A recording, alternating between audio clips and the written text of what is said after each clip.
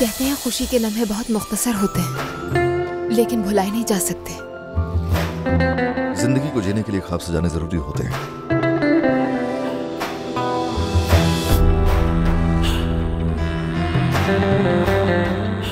दिल गवाह है कि बेपना मोहब्बत है तुमसे। सहित हमारी मंजिलें जुदा हैं। ये सच है तुम्हारे बिना नहीं रह सकती लेकिन उसके निकाह में हूँ जोरा से बात हुई आपकी? हाँ बिल्कुल। वो आएगी। वो हर हाल में आएगी।